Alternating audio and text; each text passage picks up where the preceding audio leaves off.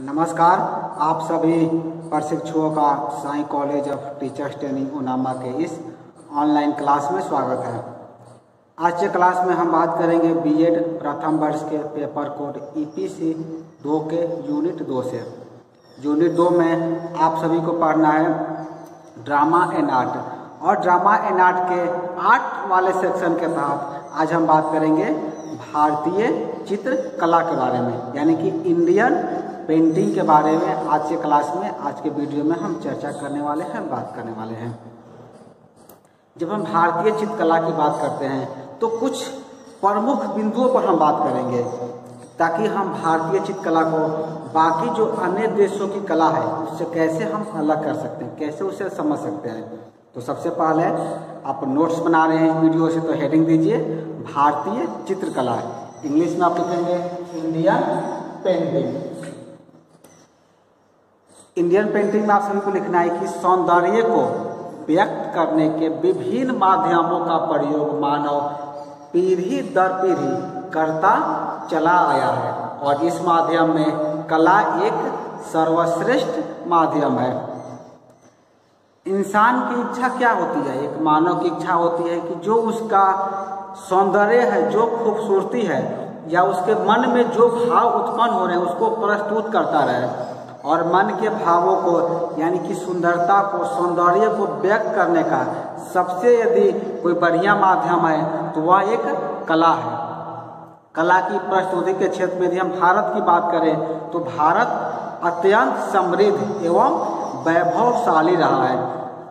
यदि आप पुराने जमाने में देखेंगे, पहले की कलाकृतियाँ देखते हैं हम मंदिर देखते हैं तो हम आज भी दंग रह जाते हैं। कैसे उस समय के कलाकारों के द्वारा उतनी बेहतरीन पेंटिंगें और नकाशीदार मूर्तियाँ और मंदिरें बनाई गई है, जो कि आज के समय में भी बनाना शायद संभव नहीं है।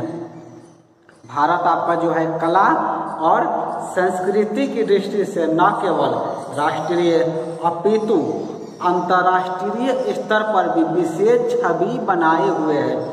वर्तमान की यदि आप बात करेंगे तो भारत का जो स्तर है, यानी भारत का जो लेवल है लेवल है खास करके कला एवं संस्कृति की दृष्टि से। तो राष्ट्रीय लेवल पर तो है ही।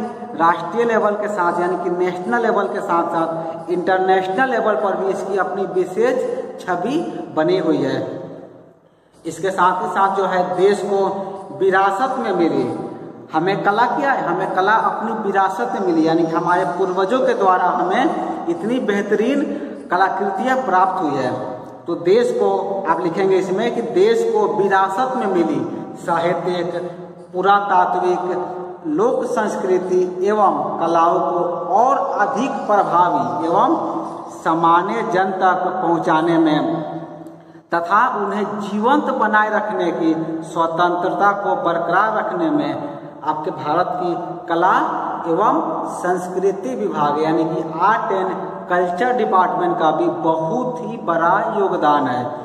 यदि भारत में या प्रत्येक राज्य में आप देखते होंगे, कला एवं संस्कृति विभाग होता है, जो कि उस राज्य की, उस क्षेत्र की, उस देश की कला एवं संस्कृति की विरासत को संभाल कर रखता है और सब लोगों तक तो पहुँचाने का काम करता है। तो हम कह सकते हैं कि भारत की जो कला एवं संस्कृति विभाग है आर्ट एंड कल्चर डिपार्टमेंट है, उसका बहुत ही बड़ा योगदान है हमारे देश की कला को संजोए रखने में, उसे आगे बढ़ाने में। तो चूँकि आपका टॉपिक आज का है इंडियन पेंटिंग भारतीय चित्रकला तो जब हम भारतीय चित्रकला के बारे में बात करते हैं, इसकी विशेषताओं पर देखते हैं तो हमें पता चलता है कि भारतीय चित्रकला अन्य देशों की कलाओं से भिन्न है। यानी कि भारत के अलावा जो आपके अन्य देश हैं, यानी कि जो पश्चिम के जो देश हैं, जो वेस्टर्न कंट्री हैं, उस देश की कला में और भारत की कला में बहुत ही भिन्नता है और कुछ विशेषताएँ भी है। अन्य, जो वही विशेषताएँ और वही भिन्नताएँ जो है, भारत को अन्य देशों की कला से अलग कर देती है। अब वो विशेषताएँ कौन कौन सी है? उसके बारे में हम एक एक करके बात करते हैं, चर्चा करते हैं। क्योंकि विशेषताओं की सूची तो बहुत लंबी है। अगर हम सभी की बात करेंगे तो शायद एक वीडियो में वो संभव नहीं हो पाएगा। इसीलिए हमने इस वीडियो को दो भागों में बनाया है। आज के वीडियो में हम पाँच बिंदुओं बात करेंगे। और बाकी जो बिंदु है, उसके बारे में हम अगले वीडियो में बात करेंगे। तो पहले यदि विशेषता की हम बात करते हैं, जो कि बहुत ही महत्वपूर्ण है, वो पहली विशेषता है रिलीजियसिटी एंड स्पिरिचुअलिटी यानी इसका हिंदी होता है धार्मिकता एवं आध्यात्मिकता। ये भारतीय चित्रकला की सबसे बड़ी विशेषता है। या कह सकते हैं कि ये जो रिलीजिबल रिलीजियसिटी एंड स्पेशलिटी जो है, यानी कि धार्मिकता और आध्यात्मिकता जो है, लगभग प्रत्येक देश की कला में हमें देखने को मिलता है। क्योंकि विश्व की सभी कलाओं का, यदि जन्म की बात की जाती है तो उसका जन्म जो है धर्म के साथ ही हुआ है।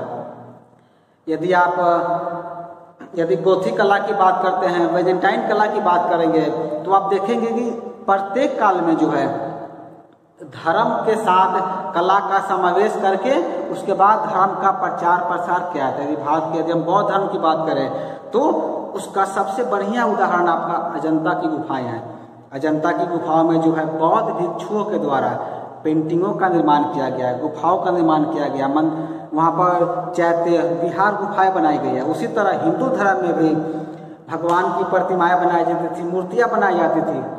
योगदान था धर्म का प्रचार प्रसार करना। आप देखेंगे कि भारत में जितने भी धर्म के लोग हैं, चाहे वो हिंदू धर्म हो, इस्लाम धर्म हो, बौद्ध धर्म हो, जैन धर्म हो, सभी धर्मों के अनुयायियों ने अपने धर्म का प्रचार प्रसार करने के लिए कला का सहयोग लिया। और उन सबके साथ जो है कला निरंतर चलते रहे।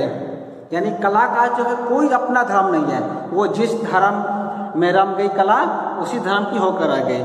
यानी कि जब वो हिंदू धर्म के साथ गई तो हिंदू देवी देवताओं मंदिरों का निर्माण किया गया। जब कला बौद्ध धर्म के साथ गई तो चैत्य बिहार गुफाओं का निर्माण हुआ, उसके अंदर पेंटिंगों का निर्माण हुआ। जब जैन धर्म के साथ गए तो जैन धर्म के अनुयायियों ने पेंटिंगों का निर्माण किया, चित्रों का निर्माण किया। आप देखते हैं, जब इतिहास पढ़ेंगे तो उसमें वर्णन मिलता है कि जो आपका मिनिएचर पेंटिंग है, उसकी शुरुआत जो है, अप्रभाष पेंटिंग से होती है। अप्रभंश जो शैली है, वो एक जैन शैली थी। जैन शैली के चित्रकारों ने मिनिएचर पेंटिंग की शुरुआत की। तो हम यह देख पा रहे हैं कि कला जो है, धर्म के साथ निरंतर आगे बढ़ती रहती है। क्योंकि कला के उद्भव में धर्म का भी बहुत बड़ा योगदान होता है। धर्म ने जो है, कला के माध्यम से अपनी धार्मिक मान्यताओं को जन जन तक पहुँचाया है। और भारतीय कला का स्वरूप भी मुख्यतः धर्म प्रधान ही रहा है। हम बात करेंगे आपके एक बहुत ही प्रसिद्ध चित्रकार थे, जिनका नाम था राजा रवि वर्मा। उन्होंने क्या किया? हिंदू देवी देवताओं की जो छवियाँ आज हम अपने घरों में एक कैलेंडर के रूप में देखते हैं, उसका निर्माण सर्वप्रथम राजा रवि वर्मा के द्वारा किया गया था। यानी कि हम देख पा रहे हैं कि धर्म के साथ कला का जो है निरंतर विकास होते गया। धर्म ने क्या किया? अपना प्रचार प्रसार करने के लिए, अपना प्रोपगंडा के लिए कला का सहारा लिया। और कला ने क्या किया? धर्म का भरपूर साथ दिया और धर्म और कला दोनों एक साथ मिलकर, जो उनकी धार्मिक मान्यताएँ थी, उन मान्यताओं को जन जन तक पहुँचाने के लिए, सभी लोगों के बीच बांटने के लिए कला का साथ लिया गया। और भारतीय जो कला है, यानी कि जो हम इंडियन पेंटिंग की आज के क्लास में बात कर रहे हैं तो आप कह सकते हैं कि भारतीय कला का स्वरूप यदि हम देखें तो इसका स्वरूप भी मुख्यतः धर्म प्रधान ही रहा है। दूसरी यदि हम विशेषता की बात करें तो है आपका इनर मार्किंग यानी कि अंत प्रकृति से अंकन। भारतीय चित्रकला की दूसरी विशेषता है। इसमें क्या होता है कि भारतीय चित्रकला में मनुष्य के स्वभाव या अंतकरण को गहराई तथा पूर्णता से दिखाने का बहुत ही महत्व है। यानी कि जो मनुष्य के जो अंदर जो फीलिंग है, जो स्वभाव है, जो चेहरे का जो इम्प्रेशन आप कहते हैं जो भाव होता है, उसको जो है बहुत ही खूबसूरती के साथ दिखाया गया है। हम उदाहरण के तौर पर अजंता की यदि हम चित्रावलियों को देखें तो उसमें जंगल, पर्वत, प्रकृति, सरोवर रंगमहल तथा कथा के पात्र। सभी को एक साथ, एक ही दृश्य में दिखाया गया है। इसी प्रकार अजंता की गुफाओं में एक चित्र बना जिसका नाम है पदम पानी के चित्र। उसमें आप देखेंगे कुछ ही रेखाओं के द्वारा गौतम बुद्ध के विचार, उनकी मुद्रा का जो अंकन हुआ है, वो बहुत ही दर्शनीय है। इस वीडियो के थंबनेल में जो पेंटिंग मैंने यूज़ किया है, वो अजंता की गुफाओं से लिया गया अजंता की गुफा में एक बहुत ही प्रसिद्ध चित्र है। गुफा संख्या एक में चित्र है, जिसका नाम है पदम पानी के चित्र। उसी पदम पानी के चित्र को इस वीडियो के थंबनेल में प्रयोग किया गया है। उसे आप देखेंगे तो समझ सकते हैं कैसे कितनी कम रेखाओं में जो भगवान बुद्ध के जो एक मनोरम दृश्य का जो अंकन हुआ है, वो बहुत ही दर्शनीय है। और एक सबसे बड़ी विशेषता है आपके इंडियन पेंटिंग यानी कि भारतीय चित्रकला की, जो कि हमें बाकी देशों की कला में ऐसा अंकन देखने को नहीं मिलता है। आप उस पेंटिंग को गौर से देखेंगे तो आप उसमें बहुत चीज़ समझ पाएँगे। देखेंगे जो उनका जो चेहरे का जो भाव है, हाथ में कमल लिए हुए हैं तो एक बहुत ही मनोरम ढंग से, और उनके साथ उनका जो बैकग्राउंड है, जो पीछे का पार्ट है, उसमें भी बहुत सारे जानवरों का ही आकृतियों का भी अंकन उसमें किया गया है। चलिए ये तो हो गया। आप हम यदि तीसरी विशेषता की बात करें तो आपको होता है इमेजिनेशन इमेजिनेशन यानी कि कल्पना, सोच करके बनाना। भारतीय चित्रकला की ये भी एक प्रमुख विशेषता है। यानी कि कल्पना के आधार पर आप कह सकते हैं कि भारतीय चित्रकला का विकास हुआ। पुनः हम आपके उसी पदम पानी चित्र का एग्ज़ाम्पल देना चाहेंगे। आप उस चित्र में गौर यदि किए होंगे, नहीं किए होंगे तो पुनः वीडियो को पॉज करके आप इसका थंबनेल देखिए वीडियो का। जो पदम पानी, भगवान बुद्ध का जो चित्र है, उसके पीछे का बैकग्राउंड आप देखिए।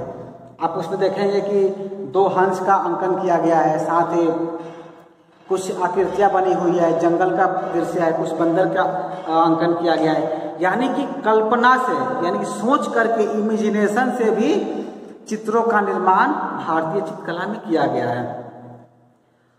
एक चीज़ हमें बहुत दिखाई था भारतीय चित्रकला में, और वो है कि इसमें आदर्शवादिता का हमें उचित स्थान दिखाई देता है। ऐसे भी यदि कहा जाए तो भारतीय कलाकारों का मन यथार्थ की अपेक्षा कल्पना में अधिक रमा। अब दो शब्द यहाँ पर है एक है यथार्थ, एक कल्पना। कल्पना यानी कि इमेजिनेशन और यथार्थ यानी कि जो मेरे सामने साक्षात दिखाई दे रहा है, उसे हम लोग यथार्थ कहते हैं। यथार्थ अंकन का मतलब ये हुआ, जैसे आप सभी कहते हैं ना कि सर, मेरा फ़ोटो बना दीजिए, मेरा पोर्ट्रेट बना दीजिए तो हम आपका हूबहू एक तस्वीर बनाते हैं। तो उसे कहते हैं यथार्थ चित्रण, यानी कि जैसा वस्तु दिख रहा है, उससे ही हम चित्रों का निर्माण करें। ये होता है यथार्थ चित्रण। ऐसे चित्र हमें पश्चिमी सभ्यता में, यानी कि वेस्टर्न में बहुत ज़्यादा देखने को मिलते हैं। लेकिन जब हम भारत की बात करते हैं तो भारत के जितने भी चित्र बने हैं, उसमें हमें यथार्थ चित्रण बहुत कम मिला है। उसमें बस कल्पना करके इमेजिनेशन करके चित्रों का निर्माण किया गया है। कल्पना का जो सर्वश्रेष्ठ चित्र हमें ब्रह्मा, विष्णु और महेश के रूप में दिखाई देता है। इसके साथ ही साथ, जो बुद्ध की पूर्व जन्मों की कथाएँ हैं, जिसे हम कहते हैं जातक कथा। जातक कथा के बारे में हम पहले भी आपको बता चुके हैं वीडियो में। जातक कथा क्या है? भगवान बुद्ध की पूर्व जन्मों की कथाएँ हैं। अजंता की जितनी भी गुफाएँ हैं, अजंता में आपको जो है तीस गुफाएँ बनाई गई है। आपको याद रखेंगे अगर ये एक जनरल क्वेश्चन है जो कई बार परीक्षा में पूछा जाता है। अजंता में जो है तीस गुफाएँ बनाई गई है। जिसमें से कुछ गुफाएँ क्या है? चैत्य हैं और कुछ गुफाएँ जो है आपके बिहार है। गुफाओं के क्या किया गया है? नंबरिंग कर दिया गया यानी कि एक से लेकर तीस तक नंबर दे दिया गया है याद रखने के लिए। उसमें आपका जो है नौ, दस, उन्नीस छब्बीस और तीस। कितना हुआ पाँच हुआ। यानी कि ये पाँच जो है आपका चैत्य हुआ है और बाकी जो पच्चीस गुफाएँ हैं वो आपके बिहार है। याद रखेंगे, नौ, दस, उन्नीस, छब्बीस और तीस। ये नंबर है ये। क्योंकि हम लोग पढ़ने की सुविधा के लिए, स्मरण के लिए प्रत्येक गुफा को एक नंबर दे दिया गया है। तो गुफा नंबर नौ, गुफा संख्या नौ, दस, उन्नीस, छब्बीस और तीस। ये आपके चैत्य गुफा है और इसके बाद जो बाकी जितने गुफाएँ हैं उसने हम बिहार गुफा कहते हैं। तो ये अजंता की गुफाएँ हैं। इसमें अजंता गुफाओं में जो है जातक कथाओं का अंकन किया गया है। ये जातक कथाएँ एक कल्पना प्रस्तुति है, जिसमें भगवान बुद्ध के पूर्व जन्मों की कथाओं का मनोरम अंकन हमें देखने को प्राप्त होता है। इमेजिनेशन के बाद आप चौथे में लिखेंगे सिम्बॉलिक सिम्बॉलिक यानी कि प्रतीकात्मकता। इंडियन पेंटिंग की चौथी विशेषता रही है सिम्बॉलिक का। यानी कि हम सिंबल के रूप में भी, प्रतीकात्मक रूप में भी चीज़ों का निर्माण करते हैं। जैसे कि भारतीय कला की ये भी एक विशेषता है, इसमें प्रतीकात्मक लिखेंगे, इसमें भारतीय कला की एक विशेषता उसकी प्रतीकात्मकता में निहित है। प्रतीक जो है, कला की भाषा होती है, संकेतिक एवं कलात्मक, दोनों प्रतीकों का सर्वाधिक महत्व रहा है। जैसे कि आप आप यदि अजंता गुफा के बारे में पढ़ेंगे अजंता की कला के बारे में पढ़ेंगे तो यहाँ हमें दिखाई देता है कि कई जगह जो है, भगवान बुद्ध का सर शरीर अंकन ना करके कुछ सिंबॉलिक या प्रतीक चिन्हों का प्रयोग किया गया है। जैसे कि हाथी का अंकन किया गया है सॉरी सफ़ेद हाथी का अंकन किया गया है कमल के पुष्प का अंकन किया गया किया गया है। पीपल के पेड़ का अंकन किया जाता है, पीपल के पत्ता का अंकन किया जाता है। ये क्या है? सब एक सिंबॉलिक है, जो कि भगवान बुद्ध को रिप्रेजेंट करते हैं। और और भी भगवानों के लिए और भी कई सारे सिंबॉलिक चिन्ह है, प्रतीक चिन्ह होते हैं, जो कि कला में प्रयोग किया जाता है। और आज के क्लास के हम अंतिम बिंदु की बात करते हैं, यानी कि आइडियोलॉजिज्म इसका हिंदी होता है आदर्शवादिता। इंडियन पेंटिंग की पांचवी विशेषता है आइडियोलिज्म यानी कि आदर्शवादिता। भारतीय चित्रकला जो है, यथार्थ की अपेक्षा आदर्श में ही विचरण करती है। वह संसार में, यदि भारतीय चित्रकला जो संसार में जैसा देखते हैं, वैसा चित्रण ना करके, जैसा होना चाहिए, वैसा चित्रण करते हैं। यानी कि इसका अर्थ क्या हुआ? जैसा कि जो व्यक्ति जैसा है, वह कलाकार जो है उससे बहु वैसा चित्रण नहीं करते हैं, बल्कि उससे जैसा होना चाहिए, वैसा चित्रण करते हैं। यानी कि जैसे कि एक चित्रकार जो है, एक महान राजा को जब यदि कलाकार चित्र बनाएगा तो उसे एक आदर्श राजा के रूप में चित्रित करेगा। ठीक उसी प्रकार जो है, भगवान बुद्ध ज्ञान देने वाले के रूप में आदर्श बन गया जब भी हम भगवान बुद्ध का अंकन करते हैं तो शांत एक सौम्य, सौम्यता के साथ आँखें हल्की झुकी हुई ध्यान मग्न बनाते हैं। जब हम किसी भगवान का अंकन करते हैं, किसी भगवान का चित्र बनाते हैं तो उनको बहुत विशाल या फिर आप कह सकते हैं कि शक्तिशाली रिप्रेजेंट करते हैं। उनके पीछे हम सर के पीछे वो चक, वो लाइट बना देते हैं। यानी कि उन्हें हम एक गॉड के रूप में चित्र उन्हें एक प्रभावशाली व्यक्ति के रूप में बनाते हैं। तो आप कह सकते हैं कि भारतीय चित्रकला की ये भी एक विशेषता रही है कि जब चित्रकार जो है, जैसा व्यक्ति का स्वभाव है, उस रूप में जो है, उसका अंकन एक चित्रकार के द्वारा किया जाता है।